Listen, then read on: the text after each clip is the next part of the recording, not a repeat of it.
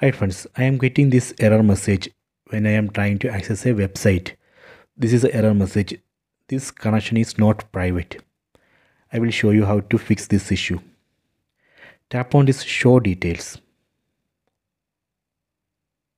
Then here you can see two options. View the certificate, then visit this site.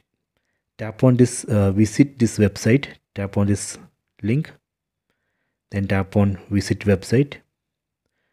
So this way we would be able to access that page see. Now i could able to access that website. So this way we can fix that issue. Just tap on that visit this website link. Okay you can try this. Okay i hope you have enjoyed this video.